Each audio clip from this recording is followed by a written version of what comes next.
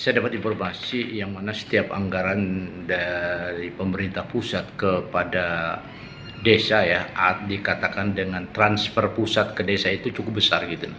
Nah sebenarnya itu dada apa aja bang? Kalau menurut anda selaku mantan ketua DPRD Kabupaten Barat yang mana juga ikut memantau perkembangan.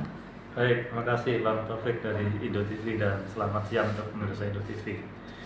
Desa dalam era sekarang ini mempunyai sumber-sumber pendapatan yang cukup tinggi.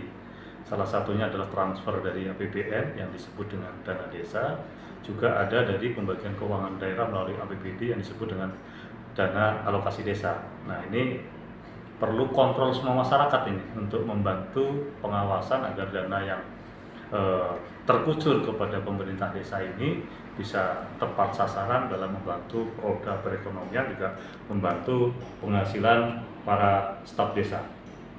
Nah, Bang, uh, di samping dana transfer desa itu kan tidak terlepas juga ini dana sharing yang ada di kabupaten kota, yang mana dana kabupaten itu juga ada masuk ke desa. Itu sebenarnya dana apa itu, Bang? Ya, selain dana dua dana tadi itu kan ada juga dana-dana yang menjadi penghasilan yang eh, legal bagi pemerintah desa. Salah satunya adalah sebenarnya adalah dana penghasilan APBD desa sendiri itu sendiri karena beberapa desa ada yang punya potensi-potensi yang bisa menghasilkan PAD bagi desa. Kemudian juga ada namanya dana bagi hasil yang bersumber dari pajak dan retribusi yang dikelola oleh pemerintah kabupaten yang nanti sebagian persentasenya dikembalikan kepada pemerintah desa itu sendiri dan yang tidak menutup kemungkinan ada sebenarnya ada campur tangan atau peran serta pihak swasta. Ini saya bermohon lah berharap lah pada pihak-pihak swasta ini agar juga bisa membantu pemerintah desa karena mereka juga punya program CSR sehingga program CSR ini dapat membantu pembangunan yang ada di desa sekitar perusahaan tersebut. Jadi kalau semuanya ini sinkronisasi, ada dari pembangunan yang dibiayai oleh APBD,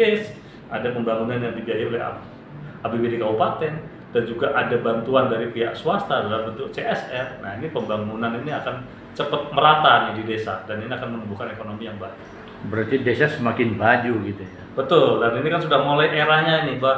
Jangan lupakan desamu karena di desamu itulah sumber segalanya yang ada di kota itu diawali dari desa. Nah, oke Bang, itu dari penggunaan anggarannya. Tapi dalam sisi kita melihat sarana prasarana di desa kan sudah mulai banyak peningkatan nih uh, pembangunan nih. Akan tetapi uh, pemerintah uh, da- daerah juga punya program untuk ke desanya, misalkan uh, dinas terkait yang ada di Kobar. Apakah tidak terjadi overlap dengan sarana prasarana desa atau bagaimana, Bang? Ya ini yang harus diberikan edukasi dan memang eh, peningkatan SDM yang ada di desa tersebut ya ini tanggung jawabnya pemerintah bagaimana SDM di pemerintah desa itu bisa mengimbangi eh, SDM SDM yang ada di kabupaten sehingga pemerintah desa dapat menyajikan sebuah data yang konkret transparan. Jadi program jangka pendek pembangunan desa itu bisa disajikan adalah misalkan ini ini ini. Pembangunan jangka menengah adalah ini ini ini. Kemudian dari program pembangunan desa ini yang sudah dibiayai dan akan direncanakan dibiayai oleh HPBDes itu adalah yang ini ini ini. Ini yang perlu untuk didorong ke pemerintah kabupaten melalui musrenembang kecamatan dan tingkatan-tingkatan selanjutnya yang diharap bisa dibiayai melalui APBD kabupaten. Kalau ini bisa terjadi maka tidak akan ada overlapping. Jadi paling tidak untuk penambahan SDM perlu pembinaan yang lebih maksimal lagi gitu ya. Betul, saya berharap namanya pembangunan itu tidak melulu fisik ya. Kita selalu salah mempersepsikan seolah-olah membangun itu bentuknya fisik. Memang tidak salah persepsi itu, tapi tidak kalah penting bagaimana membangun sumber daya manusia karena ini juga menjadi sangat penting. Apa pun kalau sumber daya manusianya ini semakin bagus, semakin pintar dan semakin baik, maka pembangunan fisiknya pun akan semakin mengarah ke yang lebih baik.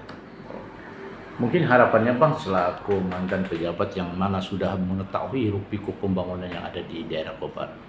Ya mari kita awasi bersama pembangunan yang ada di pemerintah kabupaten ini, mungkin pembangunan yang dilaksanakan yang dibiayai melalui APBD kabupaten ataupun APBD desa, masyarakat ini turut serta ikut mengawasi supaya apa? Supaya pembangunan ini menjadi tepat sasaran dan bermanfaat untuk masyarakat itu sendiri tanpa ada peran dari kita semua yang berempati kepada eh, negara atau bangsa ini. Nah, ini kita harus berpartisipasi untuk itu sehingga sasaran pembangunan itu tepat sasaran. Oke, demikian wawancara kami kepada mantan Ketua DPRD Kabupaten Kota Waringin Barat, Pak Triyanto.